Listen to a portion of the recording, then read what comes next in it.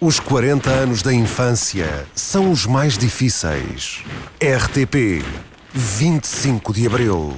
Quatro décadas de liberdade ligada a si. As Forças Armadas Portuguesas apelam para todos os habitantes da cidade de Lisboa no sentido de recolherem suas casas nas quais se devem conservar com a máxima calma. Uma rajada para o alto da varanda do centro.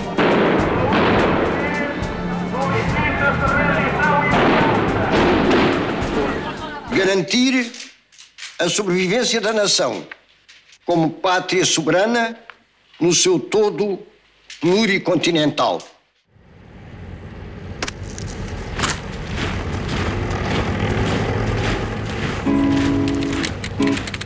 Já lá vai Pedro Soldado Num barco da nossa armada A rádio está a produzir um conjunto de conteúdos que celebram uh, o 25 de Abril. Começámos em janeiro com sons de arquivo, sons de Abril, uh, da historiadora Helena Matos. Temos um acordo com a Pordata e estamos a desenvolver um conjunto de debates que nos situam como éramos e como somos. há uma série que está neste momento no ar que se chama No Limite da Dor e que vai dar origem este livro, que vai ser apresentado a 27 de abril em Peniche, no Forte de Peniche, nos 40 anos uh, da saída dos presos políticos uh, daquele, daquele estabelecimento. Os dias cantados são músicas que nos, nos transportaram de antes do 25 de abril até uh, aquilo que são as novas gerações e há novas roupagens e versões. Lugar de agosto, quem faz um filho, falo por gosto. E uh, também estamos a preparar uma emissão para a noite de 24 para 25 de Abril, que uh, se recriará aquilo que foram as emissões dos emissores associados de Lisboa, com a senha do Paulo Carvalho, e depois as emissões da Rádio Renascença, do programa No Limite, que obviamente tocou o Grândola e que deu início à Revolução de Abril.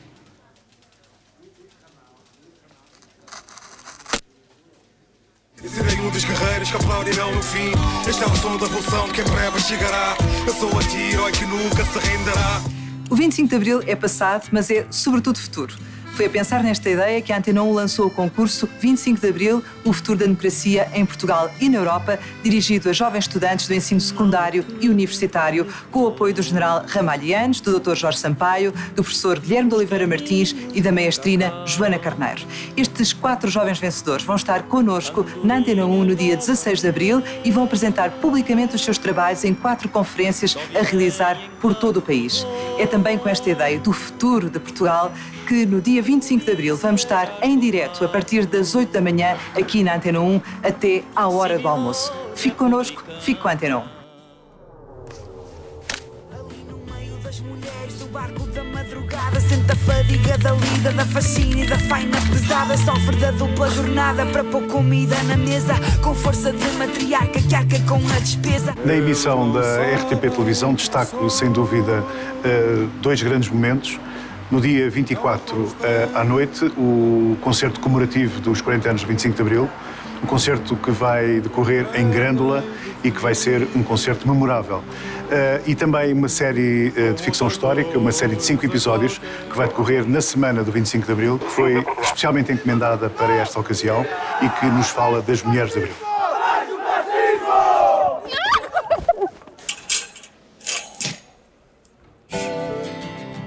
Na prisão, na prisão, o portão abre ao contrário. Vamos deslocalizar os principais programas de informação no próprio dia 25 de Abril. O Jornal da Tarde vamos fazê-lo em Grândola e o Telejornal vamos fazê-lo a bordo de uma fragata da Marinha em pleno Rio Tejo, em frente ao Terreiro do Passo, num sítio também simbólico para o 25 de Abril. Já na véspera, dia 24, um outro programa emblemático, o Portugal em Direto, será todo feito também em Grândola Vila Morena. Para além disso, temos uma série de médias reportagens que começamos a emitir no dia 1 de abril e que vai acompanhar todo o telejornal até ao dia 1 de maio. São média reportagens sobre uh, o que era Portugal há 40 anos e o que é Portugal hoje. É uma série de reportagens a que demos o nome de e depois de abril.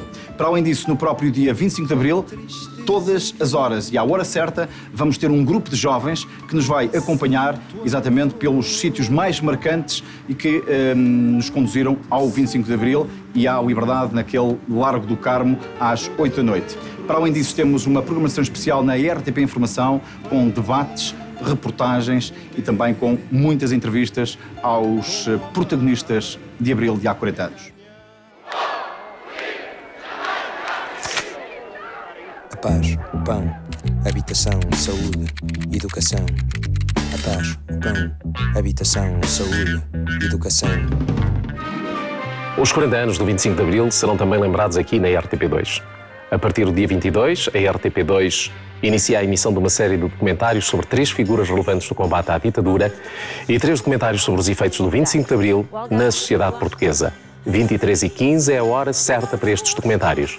Mas outros programas seguirão. No dia 25 de Abril teremos Zeca em Tons de Abril e ainda uma sucessão de programas de pequenos formatos sobre figuras que marcaram a democracia. uma vez por todas. Eu não consigo patuar com este estado de coisas. Está na hora de pegarmos no assunto com as nossas mãos. Vamos ver. Na RTP Internacional vamos dar uma atenção muito especial a estes 40 anos do 25 de Abril. Seguiremos muita da programação dos canais nacionais, mas teremos também um documentário próprio que retrata o verão quente de 75 até ao 25 de novembro.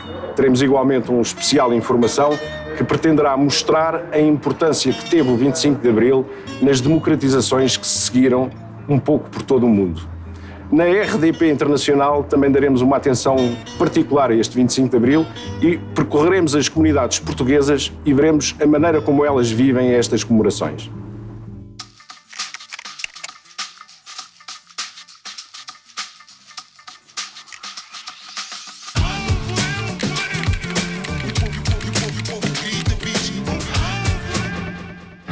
Na RTP Online vamos mostrar, sobretudo, alguns programas que estavam no ar eh, na semana de 25 de abril de 74. Portanto, vamos permitir ao utilizador dos nossos sites que recue 40 anos e que veja programas a preto e branco, eh, como eram exibidos na altura, ou pequenos extratos desses mesmos programas. Acho que é uma viagem extremamente interessante. E, naturalmente, nos sites pode também ver eh, alguns dos programas de TV e da rádio atuais sobre esta temática do 25 de abril. Linda, segura, cheia de garra. 40 anos têm outro encanto. Parabéns, liberdade.